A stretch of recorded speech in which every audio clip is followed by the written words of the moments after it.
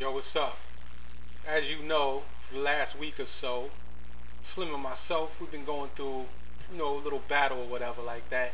So I found somebody that y'all like to probably hear from, and um, he's gonna talk to you a little bit about Slim. Hello, YouTube. Did you see the video of Slim breakdancing?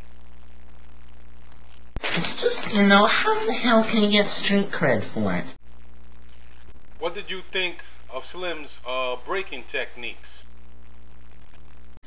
My god. He wrote in one of his comments that he lives for this ish and that he's ruthless. How do you feel about this? What else is he gonna do? He says that he's the hype man and that he's um, representing the Zap crew when he really wants to be down with the KOT and King Lou. How do you feel about this? Shame on you. Whoring yourself out.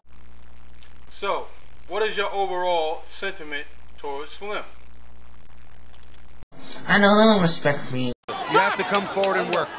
And this round was Kostya Tszyu clearly evening things up. And ending strong. Down he goes. A right hand. He's in trouble. He's in real trouble. It's over. JD stops the fight in the second round, and it's right. Tszyu.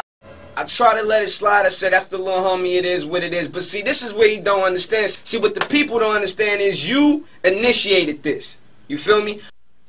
You got to check your background and size up your competition. I don't even consider you competition, but if you want to pick somebody for a match, you got to make sure it's it, it, it's a, it, it's equivalent on sheet to your sheet.